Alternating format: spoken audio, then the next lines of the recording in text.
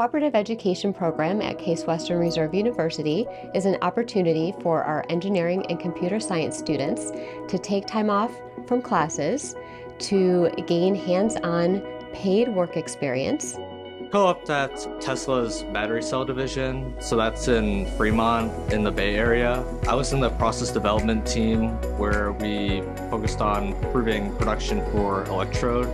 The most recent one was at NASA, uh, Kennedy Space Center. And at NASA, I was a software engineer again, but I was uh, designing for the launch space system.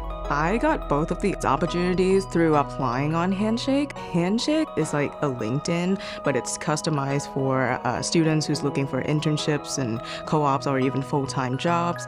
I would say you get a lot of professional experience interspersed with a lot of your schoolwork. And I think it really rounds you out as a professional going into the workforce.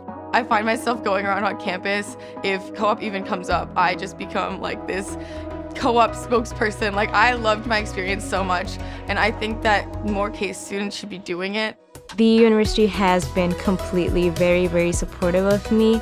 Over the summer when I was in India, I received an email from the co-op office with an opportunity I was interested in.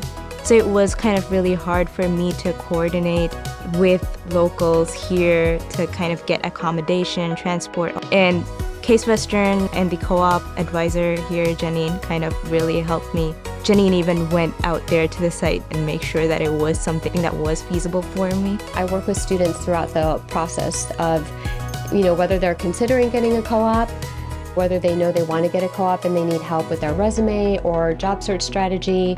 I can also help students network, meet with employers. Now that I'm back on campus, I can really see what I learned coming through, especially in the way I choose my electives.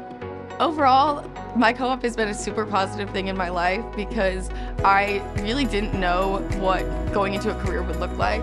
Helped me realize that I liked more of that like project management and more of those business applicable roles while also being able to still use my technical skills.